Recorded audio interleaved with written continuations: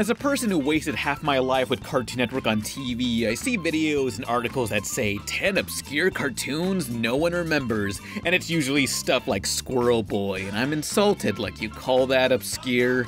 pathetic. It's a shame more people can't waste their lives knowing useless cartoon knowledge like I do. So these are 10 obscure things aired on Cartoon Network no one remembers, specifically in America. There's some stuff overseas that's worth its own video, but for now, it's juice and jam time. Hey, my threads, baby!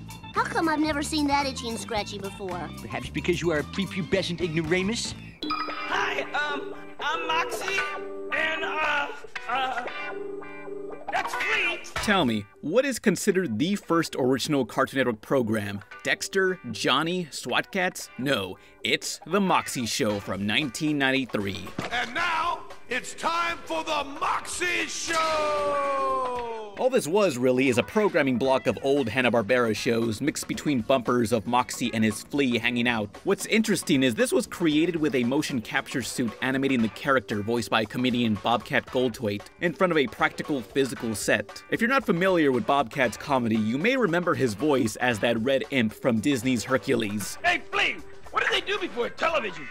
Well, they uh, discovered new continents. They uh, they made major breakthroughs in medicine. Sometimes the Moxy Show was even done live on TV to banter with callers during commercial breaks. It's very impressive for 1993, a cartoon being done live. It beats The Simpsons at doing the very same thing over two decades later in 2016. Now to take your calls. Let's go to Hannah. Hi there, What's your- Homer. My question, my question for you is, who do you like more, Lenny or Carl, and why? It's weird. The Moxy Show is considered the first Cartoon Network original, although it's something no one, not even the channel, ever acknowledges, and many of its episodes remain lost. There are symphonies written. Wow, good thing they invented television, huh? That's for sure. Made us smarter. Are you looking for a place where you can laugh and snort? For preschoolers, Nickelodeon has Nick Jr., Disney has Playhouse Disney, and Cartoon Network had Tickle U. Never heard of it? It only lasted two years, starting in 2005, yet I can still find rant videos about it made just months ago as I write this. Enjoy. Tickle you? More like stinky you. Oh my god. This brace cool block sucks. Okay, normally I would say to these people, dude, chill. Move on with your life. It's a block no one remembers for preschoolers at 9 a.m. when you should be at school or I'm hoping work. But then I realize my career is doing just that. Damn it. Knock, knock. Who's there? Butter. Butter who? Butter, bring an umbrella. Looks like rain. This block even has two hosts. They look ugly, don't they? In my eyes, it seems like they want to rip off every woman's vaginas without giving a crap about the police. Tickle U faced stiff competition from Playhouse Disney and Nick Jr., and it was just weird to have a preschool block on the same channel as Adult Swim. It also went under fire from parent groups complaining how this block offers no educational value, when Tickle U claims to help develop your child's sense of humor, when in reality these were merely comedy cartoons that were age appropriate and nothing more. It's like saying, we're teaching your kids to feel human emotions. But guess what is the worst part? This useless piece of shit actually aired Peppa Pig.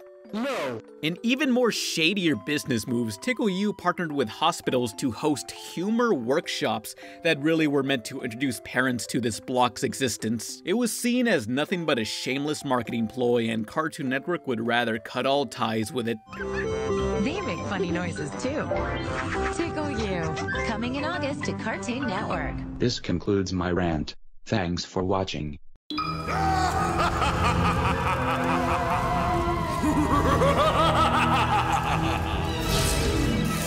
What you're seeing is the cartoon titled Grim and Evil, but some of you may object, this is just Billy and Mandy. No, This was called Grim and Evil. I'm showing my age here because most people today who know Billy and Mandy don't know Grim and Evil. For many of the first Cartoon Network originals like Dexter's Lab or Two Stupid Dogs, they had to share their 30 minute airtime with other cartoons like Secret Squirrel or The Justice Friends. The Grim Adventures of Billy and Mandy used to share its time slot with Evil con Carne, a sort of G.I. Joe villains parody where these bad guys plot to take over the world. I could explain the plot more, but the intro sums it all up. Once upon a time, there was a gillionaire playboy who was blown up in a tremendous explosion. His brain survived. Stomach too. And was attached to the body of a stupid circus bear.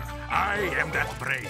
My name is Hector Con Carne, and I will one day rule the world! Because working on two different universes in the same show was too difficult for the crew of one show, Grim and Evil split into their own cartoons. Billy and Mandy was the more popular one and thus kept around way longer, while Evil con Carne is locked away like the separated Siamese twin living in the attic. We've all had one of those, don't lie.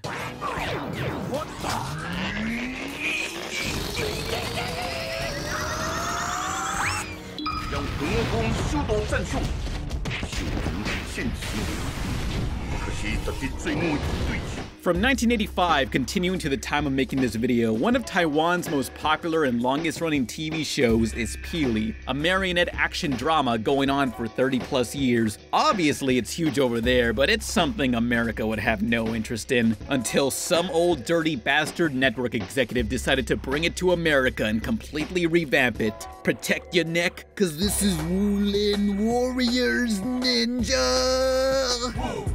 Lin, Wu, Lin, Warriors. I'm Longsword with my training brother Scar. We on a mission to try to find the missing seven stars. So Wulin, but Sheriff is bent. I'm ruling the land. Grab the Wulin sword. I'm glad Martin Shkreli finally released the Lost Wu Tang album. Wulin sword style. Holy balls. You want to talk butchered Americanization? It's obvious they completely rewrote the script into a totally different show. This guy with a scar named Scar doesn't even talk in the original and is constantly talking about pizza or saying dude. You know what this means? Uh, pizza party?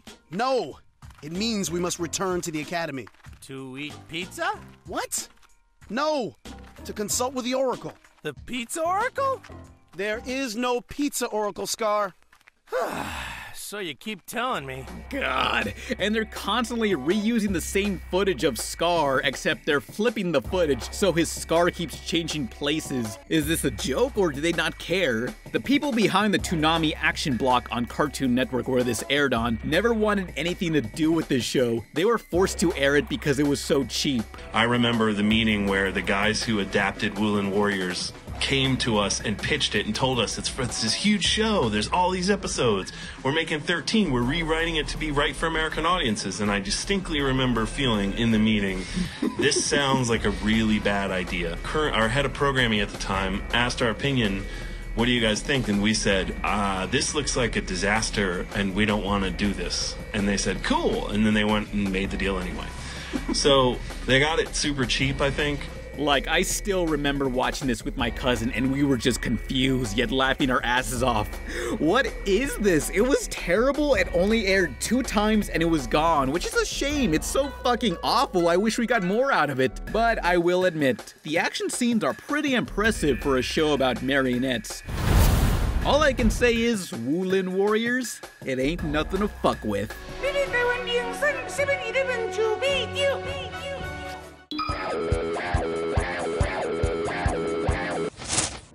Something's rotten in the kingdom of Zaravia! No, not that. Originally starting off as shorts for America Online's web service and being dumped between commercials on Cartoon Network, it's 2003's Princess Natasha, about this exchange student who was a princess and became a spy when moving to America. Student, secret agent, princess. It's like Star versus Kim Possible, only awful. But hey, let's have the intro explain the most convoluted premise since the intro to Hammerman. Beloved King Carl's older brother Lubeck has launched a series of attacks to try to capture the throne. And disguised as an ill-mannered school principal, Lubeck plots his next dastardly feat. No, only Zaravia's top secret agent, Princess Natasha, who also happens to be King Carl's daughter and Lubeck's niece, can stop Lubeck and save Zoravia. Disguised as an exchange student. No, not that disguise. That disguise. Princess Natasha lives with the O'Brien family and goes to Fountain. Did you catch all that? It's nothing interesting and was just cheap filler during commercials. These were animated in Flash at a time when not too many people even knew what Flash animation was. Even as a kid, this looked so cheap and I was worried, thinking, this is the future of animation? Ugly Flash animated shows? Will this happen to every cartoon from now on? Princess Natasha made me fear the future. But we can see that's not the case, and many studios were able to do great things with Flash. It's all about the artist, not the tool. If someone can recreate the Mona Lisa in primitive MS Paint, animators can do amazing things with Flash. I guess we can appreciate Princess Natasha for being among the first to work with this technology on TV.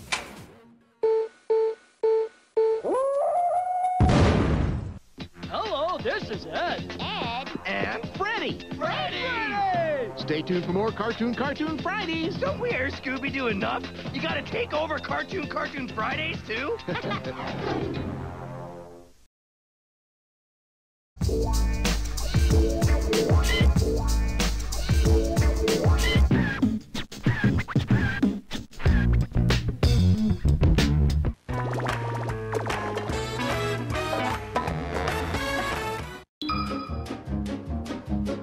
You're walking through Best Buy. You're in the DVD section. You're thankful digital distribution hasn't wiped out DVDs yet, and you see this on the shelf.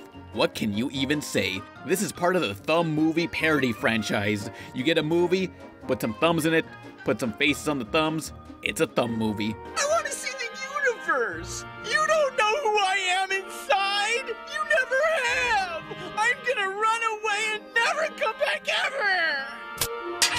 Is it a ripoff of The Annoying Orange? Nope. The earliest Thumb special was 1999's Thumb Wars, a parody on Star Wars, though the technique of real faces over stuff is called Syncro-Vox, and it dates back to the 50s with Clutch Cargo. If there were thumbs in space and they got mad at each other, there would be.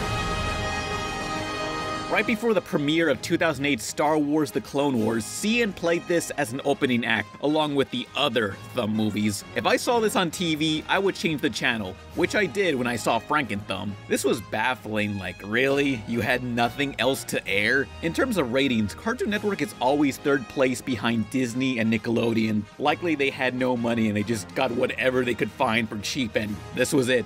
Though when you're third place behind the ratings, you have less to lose, ergo you experiment more, and that's why I always prefer Cartoon Network. They're more experimental with their stuff. Any other comments? I have a question. Why do we all speak in British accents when we're from outer space and there is no Britain? The humor in these thumb films are as dumb as you'd expect, but I'm not afraid to praise the physical props they constructed for this. These were all written by Steve Oedekerk, the founder of O Entertainment, most known for Jimmy Neutron, which he co-created. He's also a writer and screenplayer for Kung Pow, Enter the Fist, Barnyard, and Jim Carrey movies like Bruce Almighty. Don't get too excited, he also did Evan Almighty. I'm impressed something so stupid could be done by somebody with such a portfolio, yet the more I searched into this man's history, the more terrifying things became. He does, after all, have a history of CG animation in the 90s. Duh. I want to get off the ride. I want to get off Mr. Bones' wild ride.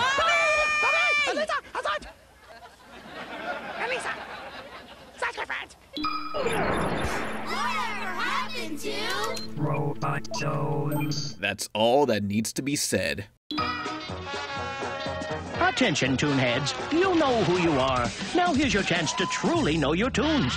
With the only 30 minute TV show guaranteed to satisfy your appetite for twisted tunes. This is what I wish we got more out of documentaries about cartoons. That was the show Toonheads, mostly covering the history of animation by MGM, Warner Brothers, and Hanna-Barbera. Episodes were themed around a particular artist, character, or topic, like one about all the World War II cartoons with all the racist caricatures no one likes to bring up. See how your favorite cartoon heroes entertained and comforted the home front by fighting the battles on the front line.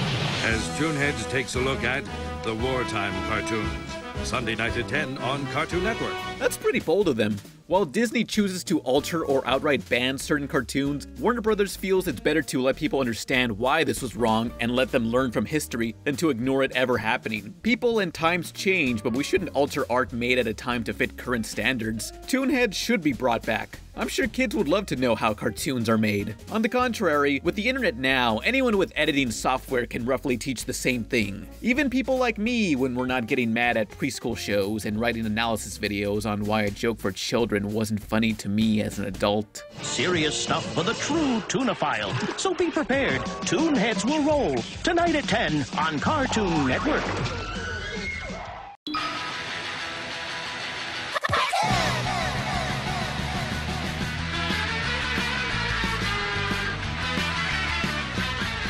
Before the internet, one of the few ways to expose yourself to random animated shorts were compilation TV shows, bundling them all together in 30 minute blocks, like 1995's What a Cartoon Show, where the likes of Dexter and Powerpuff got their start, and also Family Guy in a way. All right, I, I mean, I, I didn't spend 12 years in kindergarten because I'm stupid.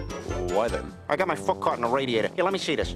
But that's a story for another time. What a Cartoon Show gave the channel its biggest hits, and later they would try their hand at a more artsy compilation show, 1997's Oh Canada, featuring, you guessed it, Canadian shorts. Cartoon Network would like to say thanks, neighbor, with Oh Canada. 30 minutes of the Great White North's cleverest natural resource. I vaguely remember watching these and getting scared at how surreal these got.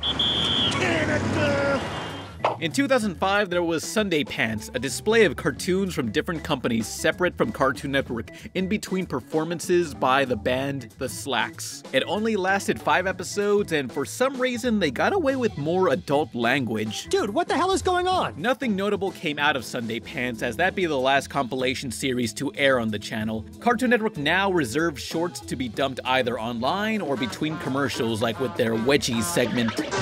Wedgies! There was Nacho Bear, where this bear was trying to find a nacho. Cat 22, it's about a secret agent cat. Big Baby, uh, Big Baby runs amok, stuff happens and somehow saves the day. The Bremen Avenue Experience, the more visually appealing of the shorts, showing off this garage band of kids. That one pig horse looks like young J.G. Quintel. But my favorite was the talented Mr. Bixby, this working man who's trying not to screw up at his job. You to fill in. Don't hit the kids. The final compilation series Cartoon Network made was the never released Cartoonstitute. I know it's supposed to be a pun on institute, but I first thought it was a pun on prostitute. Over half the shorts were unfinished, so they dumped what was done online. What made these special is they were created without network notes, meaning no restrictions like an executive telling them to take blank out or change this thing, which explains why we got stuff like Joey to the World. And where, pray tell, would you be going? To a place every man needs to go just to prove he's still a man. A whorehouse? No, silly goose. I think they forgot to tell the creator this was intended for kids. Why was the Cartoonstitute unfinished? Well, it was in development during 2009, the year Cartoon Network just gave up and said, we're doing live action shows now. Thankfully, the live action stuff failed and we're back to Cartoon Network. The Cartoonstitute never made it to TV, but this was the start for regular show and Uncle Grandpa.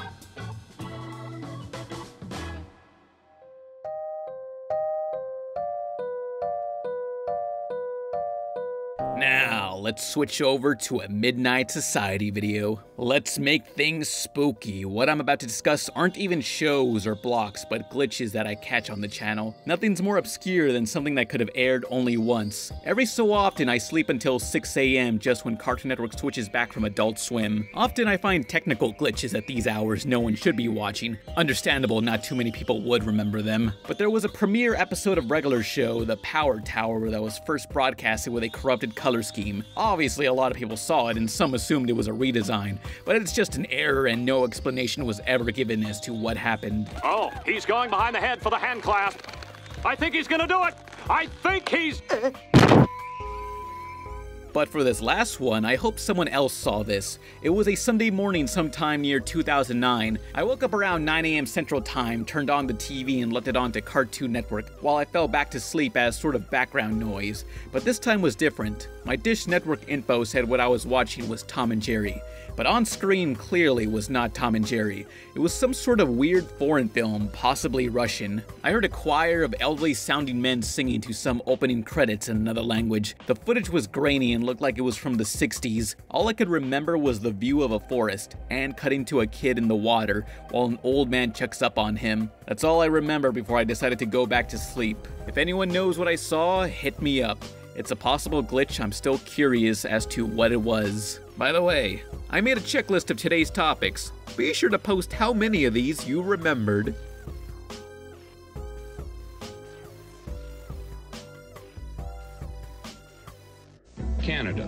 Industrious neighbor to the north, renowned for its production of lumber, mounties, and great cartoons. Every spring, the fertile Canadian soil gives forth a rich bounty of exotic native animation. Cartoon Network would like to say thanks, neighbor, with O Canada, 30 minutes of the Great White North's cleverest natural resource. Tune in to Cartoon Network tonight at 9.30. And you too will say, Oh Canada, you make some mighty fine cartoons.